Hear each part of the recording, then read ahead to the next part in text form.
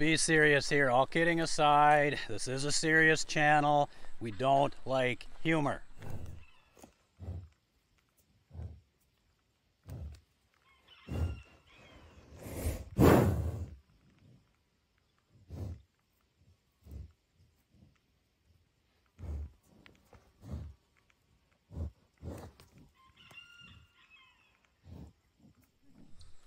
Well, as some of you learned in some of the previous uh, episodes that we put out, but I go out to South Dakota every year to dig dinosaur bones.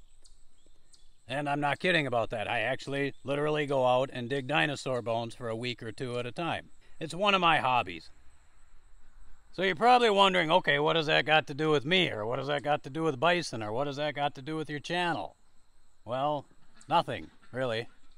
However, on my way out there, I just happened to have to drive by the Badlands. Well, technically through it, depending on which road I go.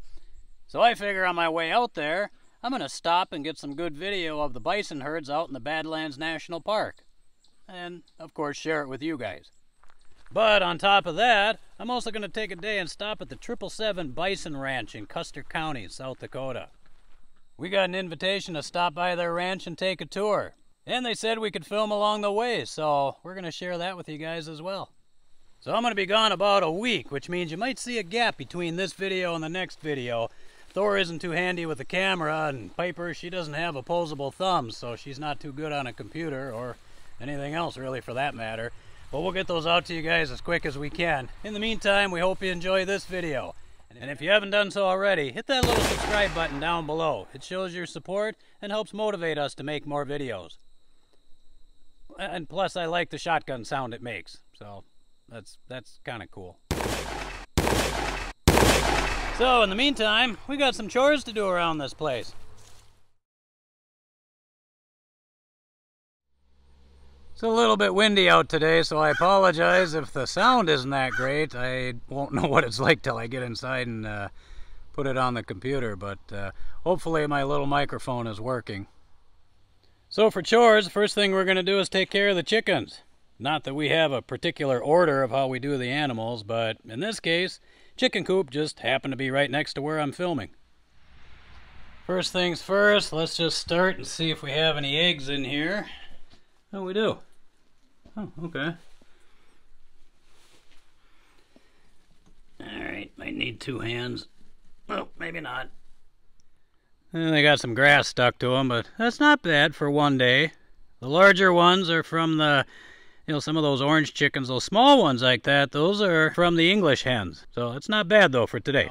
When I open up the chicken coop, I open it up and put the doors like that for a reason. So that way the chickens aren't going in and trying to dig in the bags and the feed and, and making a mess on that side. Because if we go in here and look, see, this is where we keep our feed. So we have a mix of what we give our chickens and ducks. We got crumble like this and scratch grains like this. A little bit more there.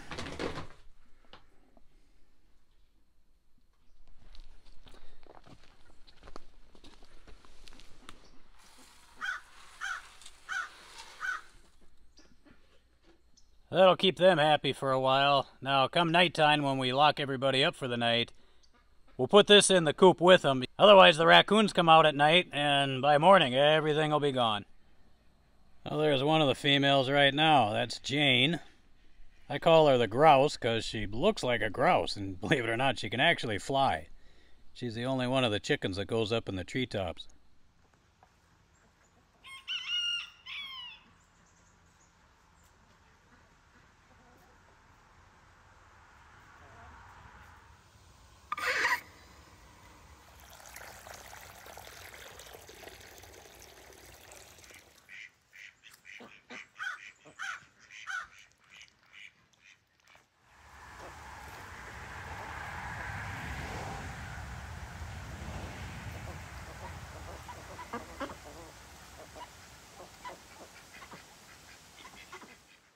Hey, you can see what they're doing with their bills there where they get the water where it collects. That's how we end up with these little divots all over our lawn. Ducks.